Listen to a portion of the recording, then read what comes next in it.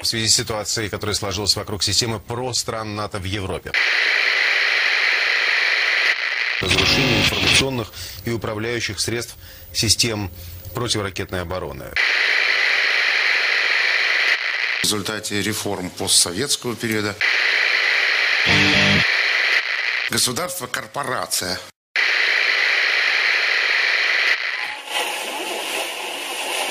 Никто не может изменить внутреннее устройство. Люди в этой корпорации не участвуют.